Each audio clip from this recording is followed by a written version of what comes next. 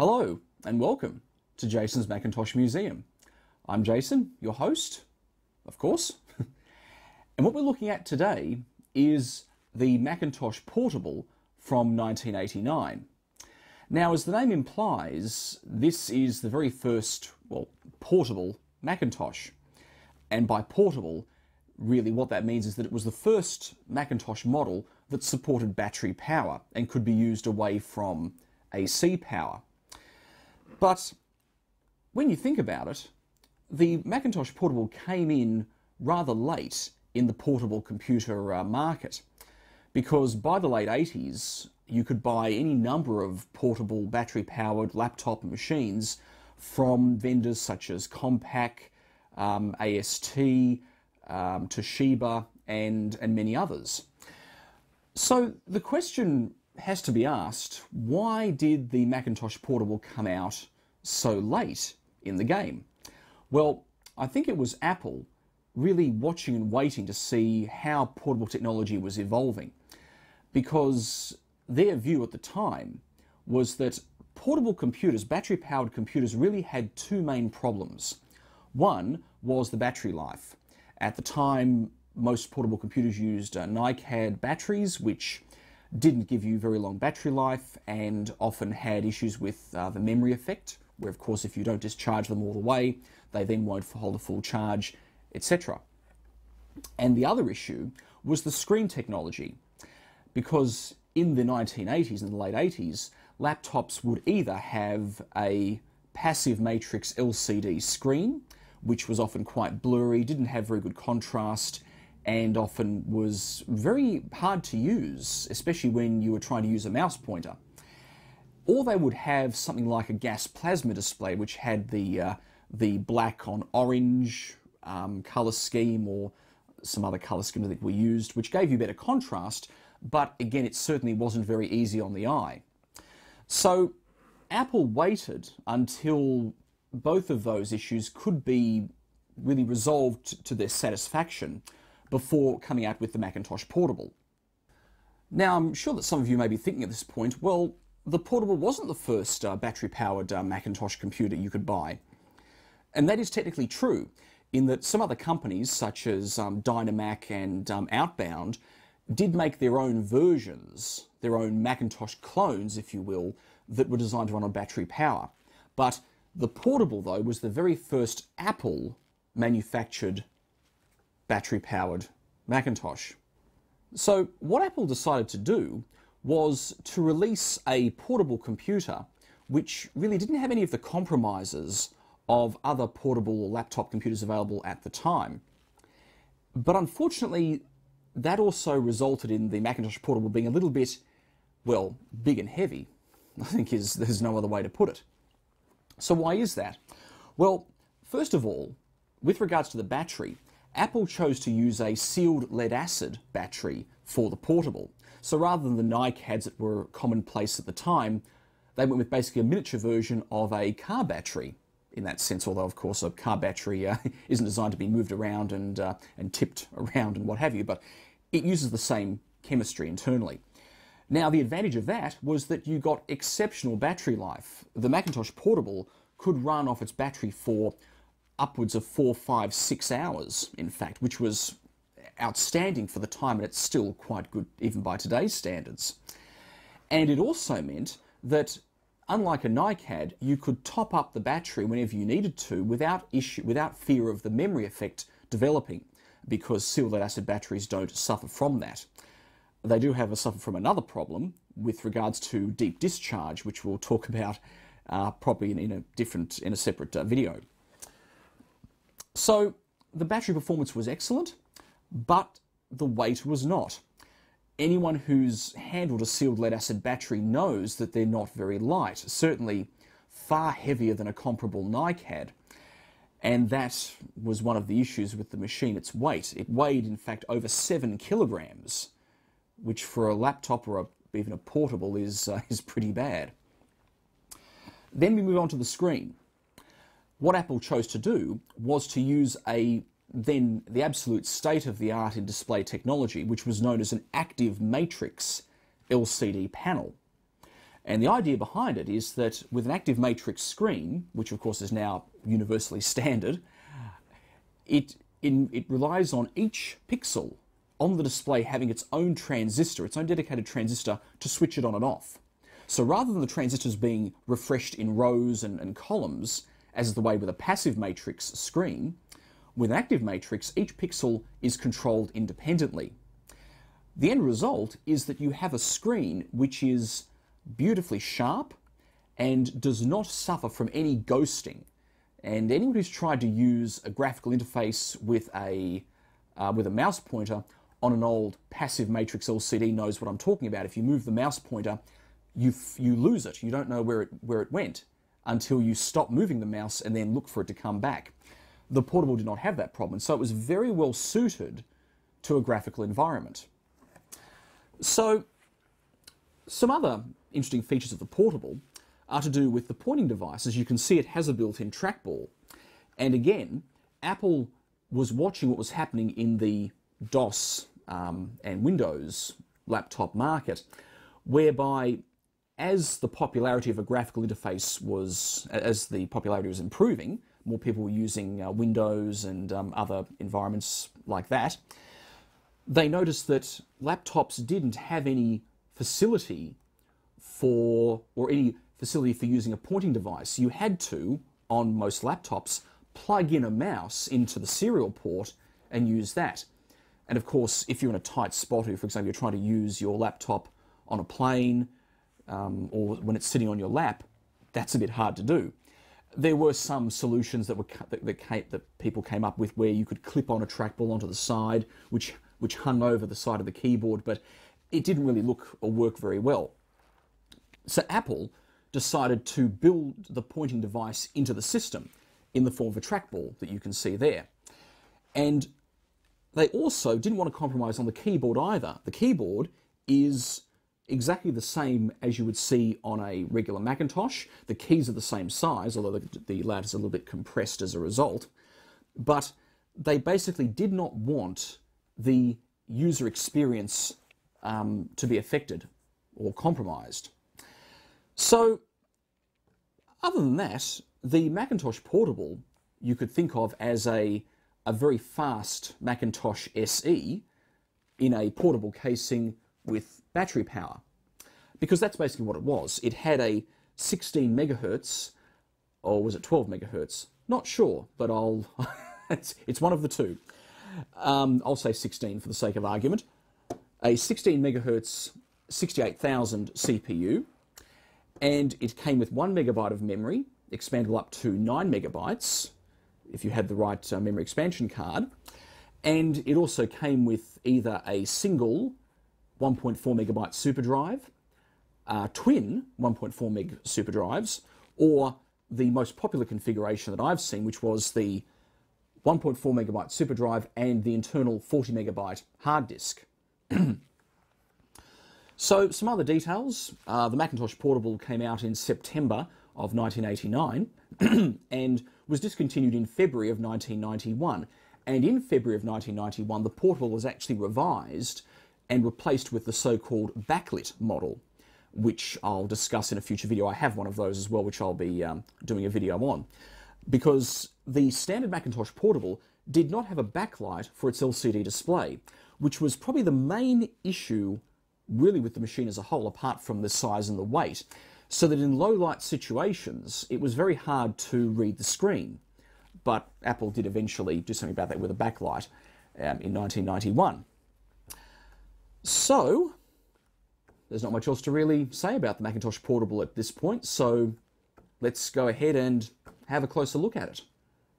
Here's the, the front view of the Macintosh Portable with the screen closed, and as you can see, it has a lot of the same design styling features as the other machines that were around at the time, such as the IIcx and the IIci. Uh, it has the same color, has the same horizontal uh, slots on the top. So it, it, was, it, was very, it was styled very much like their desktop machines. So to open up the screen, you have to push on this bar at the front, which also doubles as the carrying handle. So if you pull it out, this is the carrying handle for the portable. But if you push it back and then push in on it, you can unlatch the screen and it opens up like that.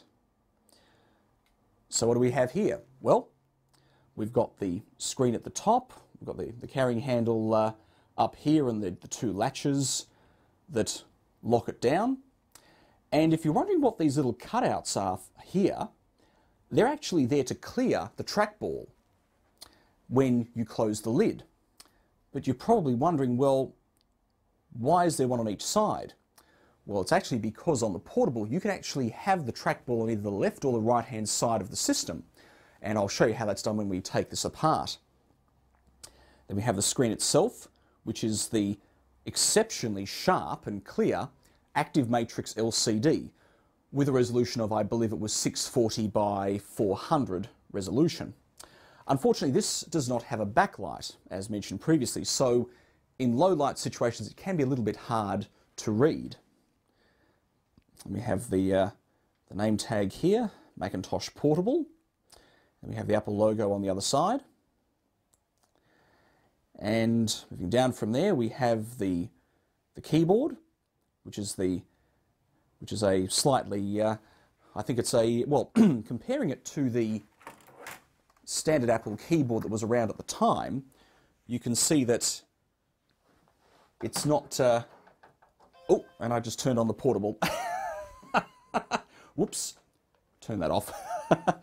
you turn the portable on by pushing any key, so uh, should unhook the battery there.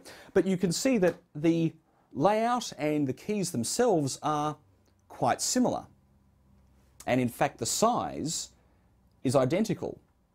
So, unlike some laptops where the manufacturers would slightly shrink the keys to give to, to allow the laptop itself to be smaller, Apple wanted to keep the key size at, um, at its normal size, which was great for typing. But of course, again, it did add to the bulk of the machine. And over from there, we have the built-in trackball. So with the trackball, of course, not much I have to I can say about that really. It's just a uh, regular trackball that you roll and the mouse button down here. But as I mentioned, you can actually move this. Say if you're left-handed, you can move it to the other side of the machine and then move the keyboard across as well. But we'll uh, go into that uh, in a moment. So that's the uh, that's the front view of the portable. So let me turn it around, we'll have a look at what's on the side. So all we have on this side is the reset and interrupt switches down here, which are hiding down in there, and also a little latch on the right, which actually prevents you from hitting them inadvertently. So if I slide that latch over, then I can't push on these buttons. So there's not much else on that side. So we'll turn it around and we'll look at the other side.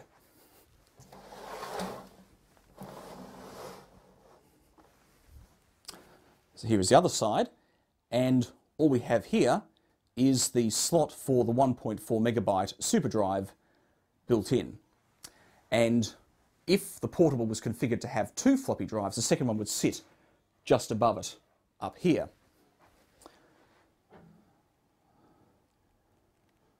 So not much else from the side there, so let's have a look at the back.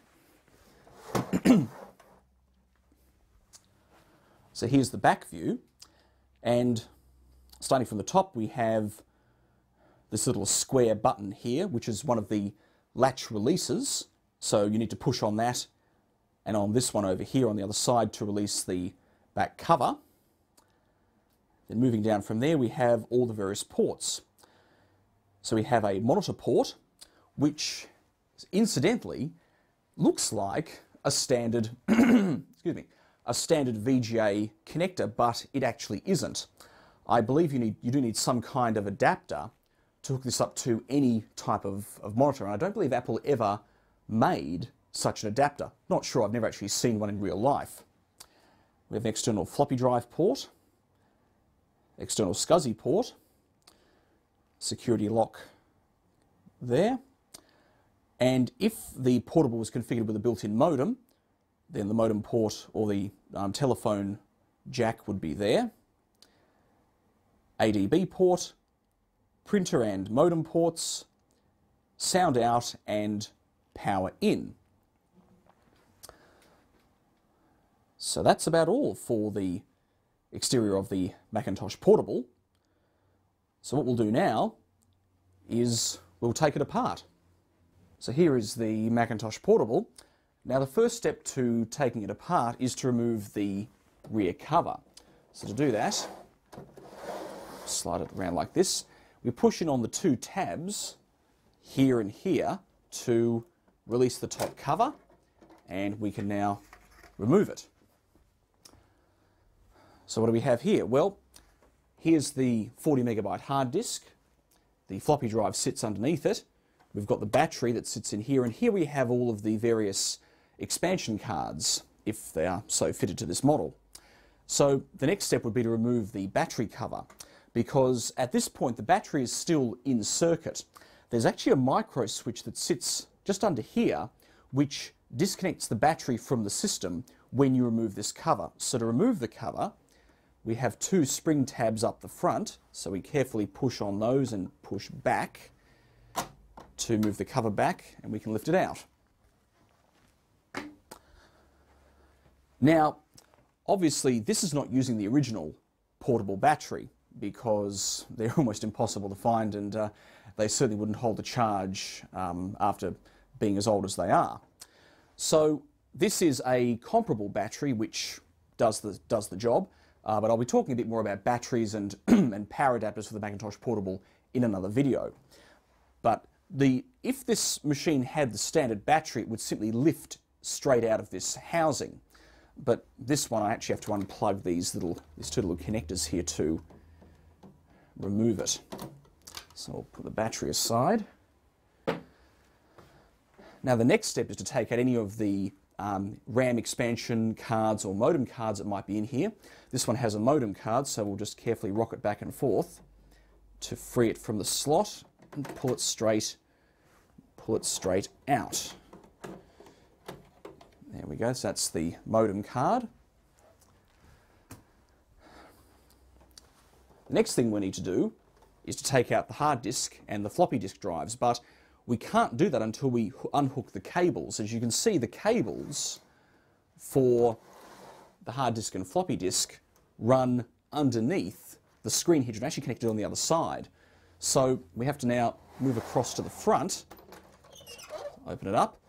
We next have to take off the plastic cover for the keyboard.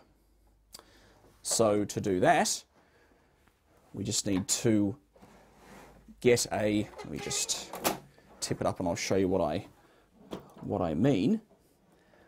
So you can see that we have to put a small screw, oh, no you can't see on camera. Let me move that. That's better. If the portable has these little rubber feet on it, you need to pop the feet off and then insert a small screwdriver into this tab here and this tab here to unhook the keyboard cover. So I'll just I'll quickly do that now. Let's get you back in frame. Uh, find a screwdriver that will fit. uh, this one will do. so if I just insert it down here, we can see we've popped up the the keyboard cover. And once it's popped off, you can remove it. So what we have now is the keyboard, trackball, speaker, and we also have the connectors for the battery, the display, and for the hard disk and floppy disk. So the next thing we'll do is we might as well take the keyboard and uh, trackball out. So to do that, you simply unhook the data connector here, this one over here for the trackball, and we'll unplug them from the other side as well to uh, give us some more space. Okay. Now to remove the trackball, you simply have to push up on, or push back on, these two plastic tabs while you pull up on the trackball mechanism. So if you very carefully ease up on it, it will free itself and you can remove the trackball mechanism straight out of the system. It's the same with the keyboard, but because of the number of tabs, you have to be very, very careful and work your way across. So we'll start from the left, pop the tabs as we go, just taking, taking care not to break any of them, or to put too much stress on the keyboard. And there we are, the keyboard is now free, and we can remove it.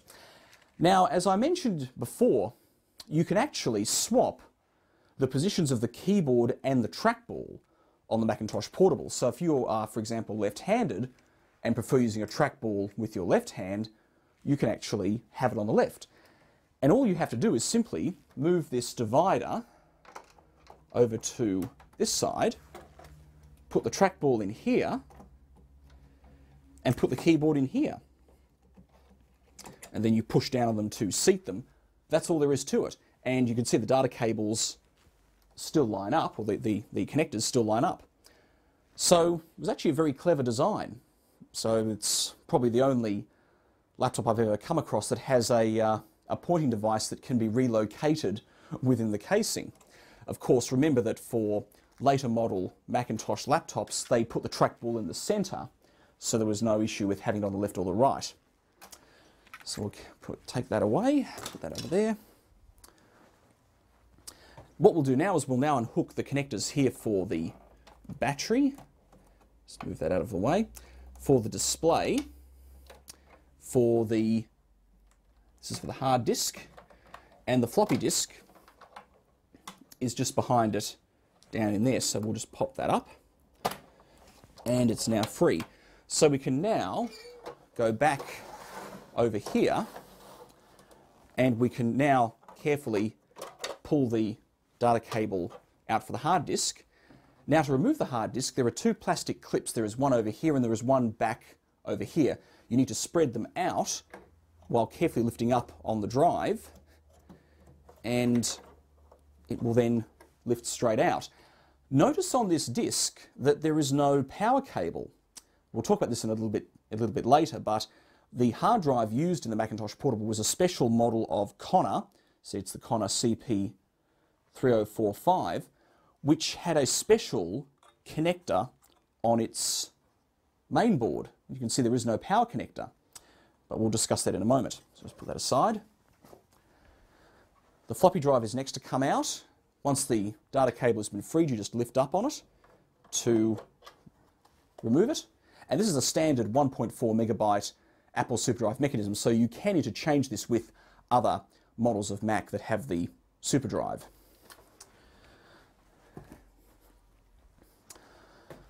Okay, now there's not much else to do here.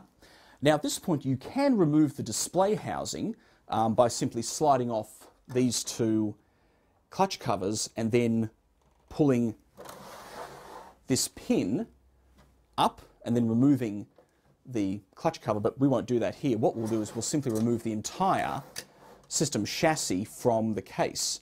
So you can see that this section here that the battery sits in um, the drive sit in and the display is connected to is actually a separate housing from the actual back panel or the, the under the under the uh, the bottom panel. So to take it out, we have to go back here. Uh, we'll also remove the speaker at this point. We'll just unplug that and we'll move this little tab over here to pop. Oh, there's a tab over here too. Pop that speaker out.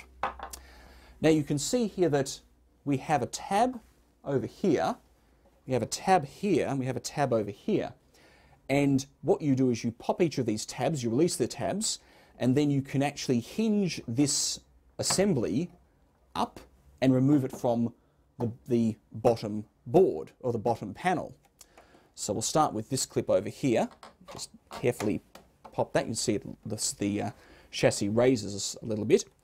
And then this clip here, you push in on this to release it it will pop up and then you can release this clip here and it pops up. So you can see when all those three clips are free, you can take the whole display and bottom um, chassis assembly out, and all you're left with is the bottom panel.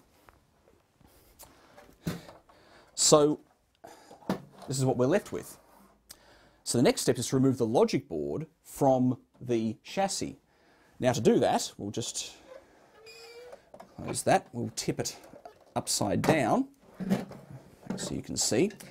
So the logic board is secured to the chassis with plastic clips that run along the sides and the top and then hooks at the bottom. So to remove the logic board you simply start from one corner, you carefully move these little clips, carefully move these little clips out of the way. It's a bit hard to do this one-handed. Um, I'm holding the, oh there we go.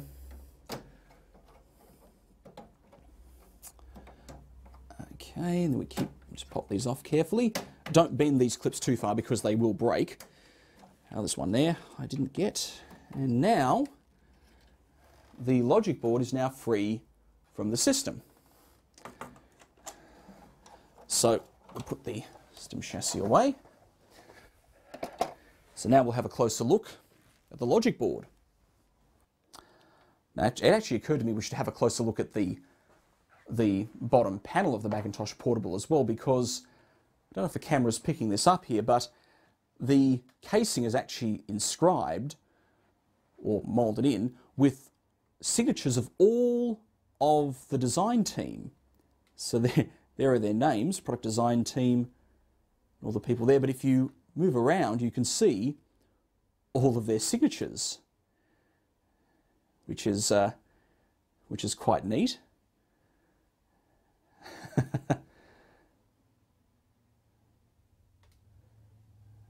How many have we got here? Uh, oh, there's another one. Oh, I might try and get this fix this focus. Oh, come on, focus, focus. That's better. Problem is, of course, it's very hard to tell what the names actually are. But it's quite neat that they're all molded into the uh, bottom panel.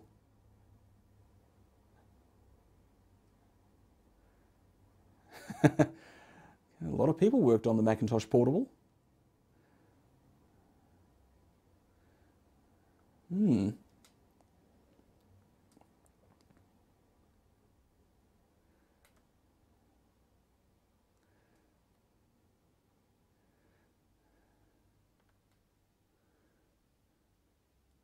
Hmm. It's quite uh, quite neat. Obviously very proud of their achievement, and I can see why.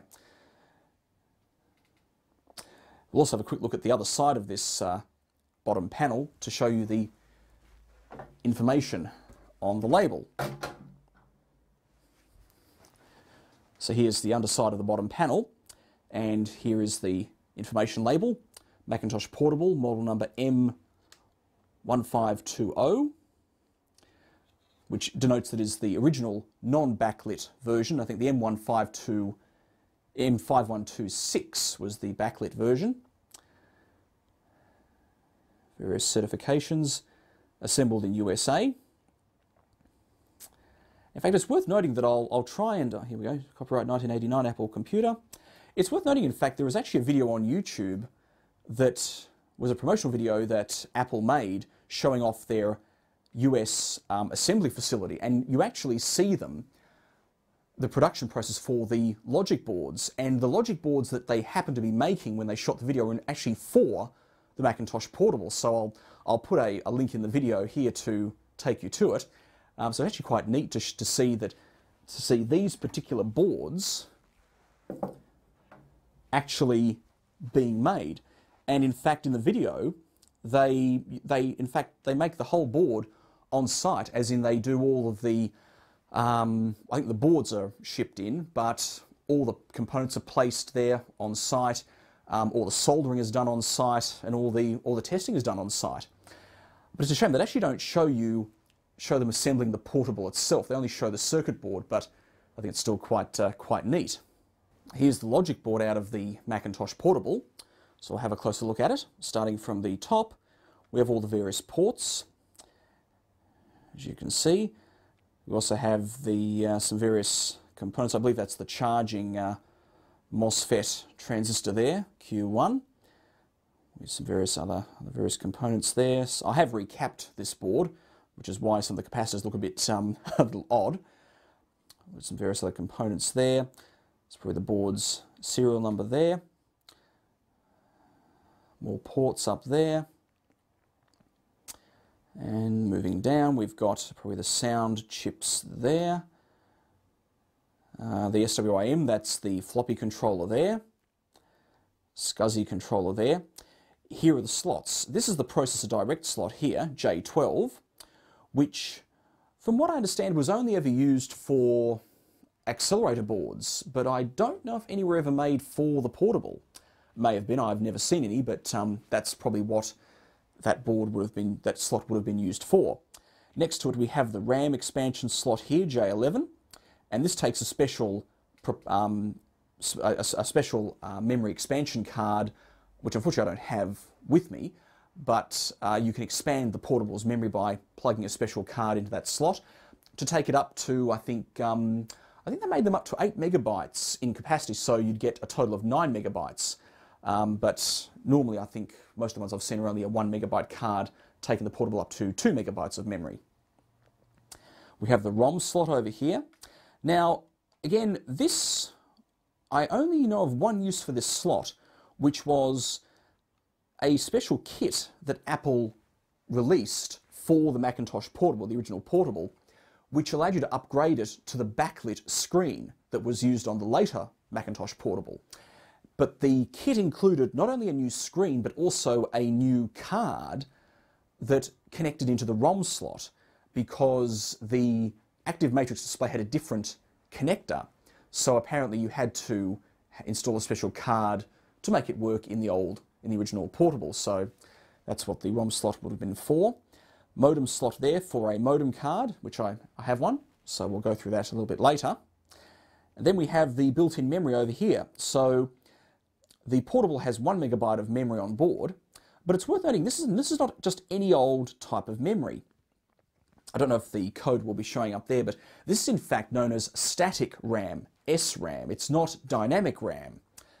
Now, the reason it was chosen by Apple was that dynamic RAM has to be refreshed every so often to preserve its contents, and doing so for a battery powered system is not a good idea because, of course, the system is having to use more power to keep the memory refreshed while it's running. Static RAM does not require that. You basically can set the contents of static RAM, but no refreshing is required. So, for a battery powered system, it makes a lot of sense, but it was very expensive, and that's one of the reasons um, the portable was so expensive in its day. Um, but certainly using static RAM certainly did help the battery life. So we've got one megabyte of memory there. So moving on from there, we have uh, various other chips, CPU, glue logic, the main CPU, the Motorola 68000 running at looks like 12 megahertz, not 16 as I originally thought. Actually, how fast is the clock crystal? That'll tell me. Uh, I can't quite see what that is. Let me have a closer look at it. Oop, focus. Uh, doesn't want to focus. Um, right, well the clock crystal is at 31.3 megahertz, so it would be in fact just under 16 megahertz in terms of its speed. But, strangely enough, the chip as you can see, is marked as a 68,000 FN12. FN, FN12. I don't know, maybe, maybe Motorola found that these CPUs would support 16 megahertz operation. Not sure, but anyhow, let's move on. Video controller chip there. Um, not sure what that is. Being a Sony chip, it may be the uh, maybe the, um, the sound chip possibly. Uh, PMGR, this is the power manager chip. This is the chip that controls the charging and the battery on the portable. It's basically there to monitor the status of the battery and trigger the low battery warnings and also give you the nice little battery gauge that tells you how much charge is left in the battery. Okay, a VIA chip there, another glue logic chip there. SCC, I believe that's a serial controller there. The two disk floppy drive connectors, because remember that the portable could support two floppy drives. Um, now, I must admit, I have no idea what this bank of dip switches does. I've been told not to mess with them because apparently that can damage the machine, but I'm curious as to know what it was for and what, what the different settings were. So if anyone knows, please, uh, please let me know. Anyhow, some more voltage regulators there. And the that's the I.O. device connector. That can be either for the tr trackball or for the keyboard.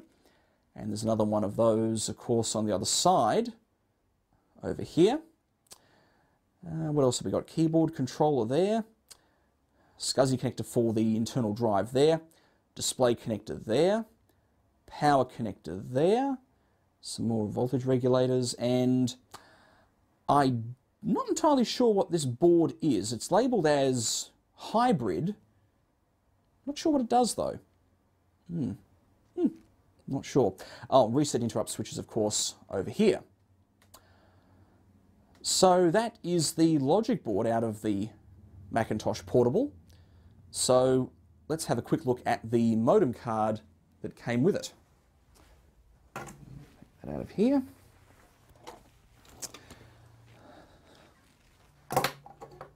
Oh, stand up. this is the modem card. This would have been your standard, probably 2400 baud modem, um, which, of course, for 1989 was um, was about the best you could get. How times have changed. So we've got some uh, clock crystal here, control. I think that's, that's National Semiconductor. I think that uh, is it? No, it's not. That's um, oh, don't remember who uh, who makes those chips with that logo. It'll come to me. Uh, other controllers there, the line transformer, relays, connector for the phone jack. There's the ROM, copyright 1991 applied engineering, and the connector down here that interfaces with the portable's logic board. Hmm, well, not much to really uh, see there. Let's have a closer look now at the special hard disk that came with the portable. So, Apple claimed that with the Macintosh Portable they used a special low power hard disk. Now I'm sure that's true because the hard disk they used was a unique model for the portable and as I mentioned before it has a unique type of connector. So let's have a look at the drive. So it is a Conner Peripherals CP3045 and you can see that 250 milliamps at 12 volts, 275 milliamps at 5 volts, which is pretty good for a 3.5 inch hard disk, at least it was back then. Um, some various markings there as to the uh, probably the date of manufacture, I'm not quite sure. And let's have a look. Ah, there's the Apple label, hard disk 40SC. And if we have a look at the actual connector, might hold it for this one, you can see, focus, come on focus, you can see that it's a special connector which handles both the data and the power.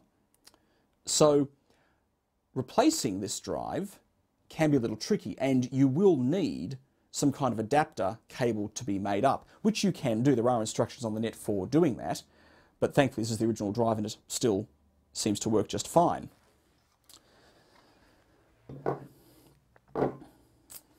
Okay, so that's about all we have on the Macintosh Portable.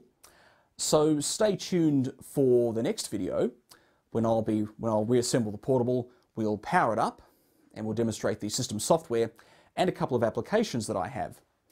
So thank you for watching and stay tuned for part two.